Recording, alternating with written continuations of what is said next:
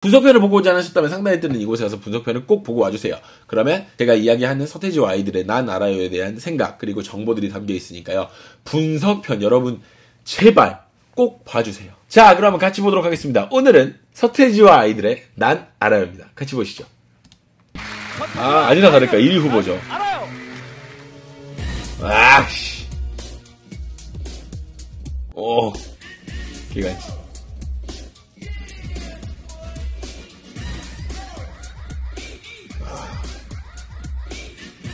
어, 양현석 씨.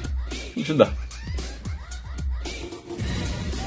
실은 서태지가 제일 춤을 잘 추는 것도 아니지만 어쩔 수 없죠, 확실히. 서태지와 아이들이었기 때문에.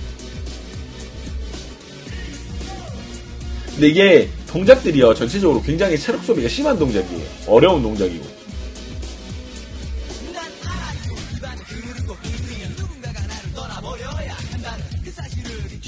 춤을 옆에서 너무 꼽는데? 어, 저 개인적으로 이런 구성이 되게 좋아요. 막 좌우로 움직인다거나. 아, 자. 파티머신이라는 동작이거든요, 저게.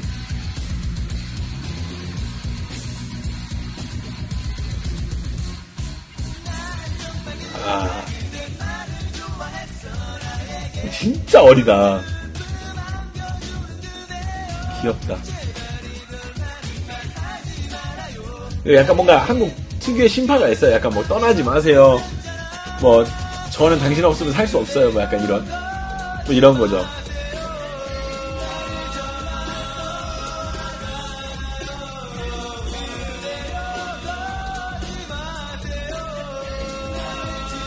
아, 그래서 리핑크해주고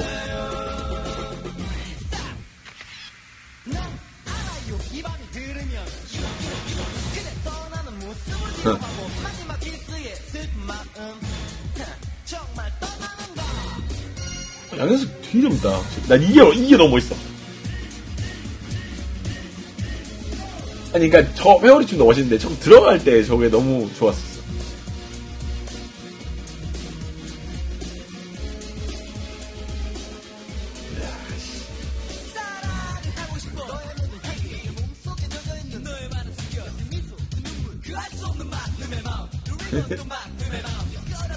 진짜 인기가 많았거든.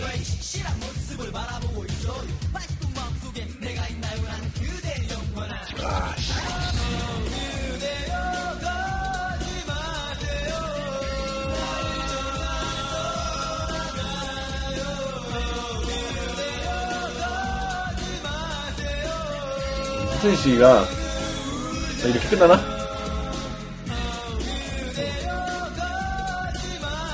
립싱크를 되게 대충 하시는데 오히려 저 두 분이 훨씬 더 열심히 하는데 아 뭐야 이주연 씨 리듬 이상한데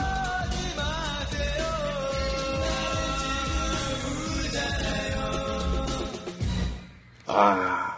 네, 어떻게 보셨나요? 서태지와 아이들의 난 알아요였습니다. 이게 되게 촌스러워요. 알아요. 알고 있고, 그리고, 음, 이걸 가지고 우리가 뭔가 이렇게 막 재미난 이야기를 해보자 그런다기보다는 저는 요 부분은 약간 그렇게 생각해요. 우리가 지금 즐기고 같이 소비하고 있는 이 문화의 시초를 알아보고 요거에 대해서 이야기를 해볼 수 있는 어떤 다른 그런 게 됐으면 좋겠습니다. 여러분들 재밌게 보셨으면 좋겠습니다. 네, 저는 지금까지 13년차 댄스 채널 루다크리스였고요. 여러분들 다음 시간에 다시 뵐게요. 안녕!